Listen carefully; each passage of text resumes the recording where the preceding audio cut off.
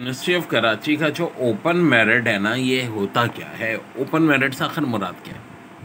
चार दिसंबर से तेरह दिसंबर तक तो ये चलेंगे जनाब, ठीक है? और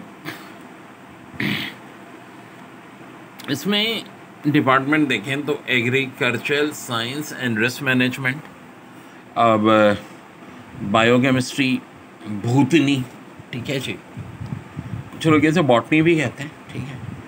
Chemistry computational mathematics economic finance English अब देखो अच्छा डिपार्टमेंट कौन सा एक्चुरियल साइंस है। मेडिकल इंजीनियरिंग कॉमर्स वाले सब अप्लाई कर सकते हैं। फिर एग्रीकल्चर एंड एग्री बिज़नेस ये भी अच्छा है। बायो केमिस्ट्री ये भी अच्छा है। भूतनी के बेस पर टीचिंग में चांस हो जाता है। केमिस्ट्री बेस्ट सबसे अच्छा डिपार्टमेंट अगर कोई पूछे ओपन मेरिट में तो केमिस्ट्री है। वाल कंप्यूटेशनल मैथ्स भी बुरा नहीं है इकोनॉमिक्स एंड फाइनेंस काफ़ी अच्छा है। आर्ट्स वालों के लिए सबसे अच्छा डिपार्टमेंट इंग्लिश है। फाइनेंशियल मैथ्स hmm, अच्छी फ़ील्ड है।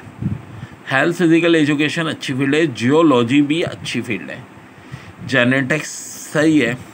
बाहर ज़्यादा स्कोप है मैथ्स ज़ाहिर है टीचिंग की हद तक। माइक्रोबायोलॉजी अच्छा स्कोप वाला है। पाकिस्तान स्टडी भी टीचिंग की हद तक। पॉलिटिकल साइंस में भी कहीं ना कहीं जॉब लगी जाती है। स्कूल ऑफ़ लॉ बहुत ज़बरदस्त।